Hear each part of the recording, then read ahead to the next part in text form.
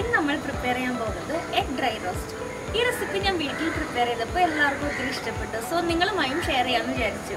നിങ്ങൾ എന്റെ ചാനൽ ആദ്യമായിട്ടാണ് കാണുന്നതെങ്കിൽ do subscribe to my channel also don't forget to hit the bell icon so let start cooking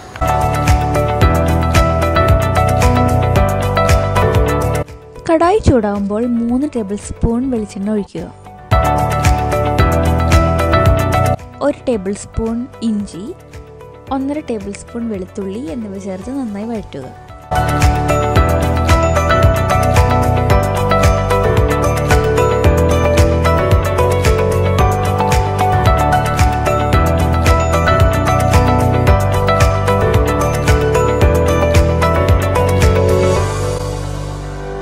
ഇതിലേക്ക് മൂന്ന് സവാള നീളത്തിലരിഞ്ഞതും ഒരു പച്ചമുളക് അരിഞ്ഞതും ആവശ്യത്തിന് ഉപ്പും ചേർത്ത് നന്നായി വഴറ്റുക.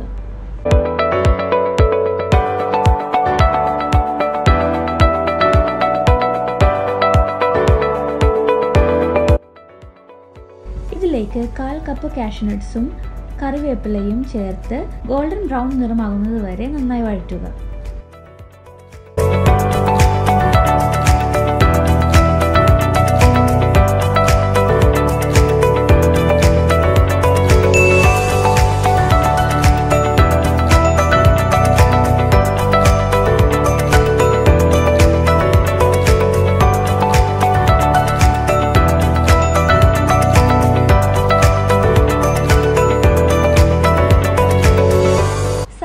ഗോൾഡൻ നിറമാകുമ്പോൾ അര ടീസ്പൂൺ മഞ്ഞൾപ്പൊടി ഒന്നര ടീസ്പൂൺ കാശ്മീരി ചില്ലി പൗഡർ ഒരു ടീസ്പൂൺ ഗരം മസാല പൗഡർ അര ടീസ്പൂൺ ക്രഷ്ഡ് പെപ്പർ അര ടീസ്പൂൺ പഞ്ചസാര എന്നിവ ചേർത്ത് ലോ ഫ്ലെയിമിൽ നന്നായി വഴറ്റുക. മസാലപ്പൊടികൾ ആഡ് ചെയ്യുമ്പോൾ എപ്പോഴും ലോ ഫ്ലെയിം മെയിന്റെയിൻ ചെയ്യാൻ പ്രത്യേകം ശ്രദ്ധിക്കണം.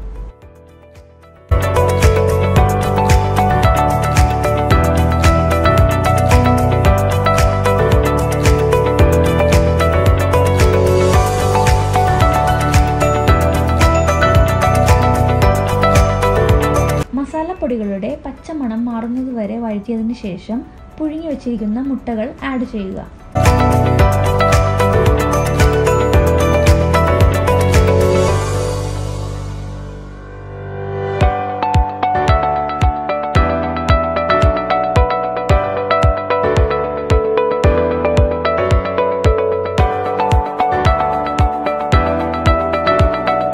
ഒരു തണ്ട് കറിവേപ്പില കൂടി ഇതിലേക്ക് ചേർക്കുക. അതിനുശേഷം ഒരു മിനിറ്റ് നേരത്തേക്ക് ലോ ഫ്ലെയിമിൽ ക്ലോസ് ചെയ്ത് കുക്ക് ചെയ്യുക. മസാല നന്നായി ബ്ലെൻഡ് ചെയ്യാൻ വേണ്ടിയാണ് നമ്മളിങ്ങനെ ചെയ്യുന്നത്. കുക്കായതിന് ശേഷം കാൽ കപ്പ് തേങ്ങാപ്പാൽ ചേർക്കുക. തേങ്ങാപ്പാൽ നന്നായി വറ്റുന്നത് വരെ മിക്സ് ചെയ്തെടുക്കുക.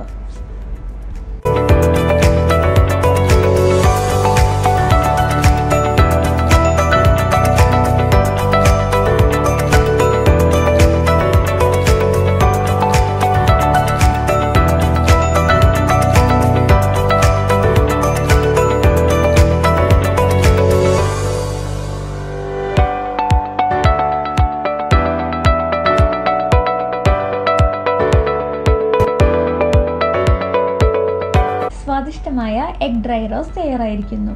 നിങ്ങൾക്ക് എല്ലാവർക്കും ഇത് ഇഷ്ടപ്പെടും എന്ന് വിചാരിക്കുന്നു. നിങ്ങൾക്ക് ഈ റെസിപ്പി ഇഷ്ടപ്പെട്ടിട്ടുണ്ടെങ്കിൽ ലൈക്ക് ചെയ്യുക ഷെയർ ചെയ്യുക ആൻഡ് സബ്സ്ക്രൈബ് ചെയ്യുക.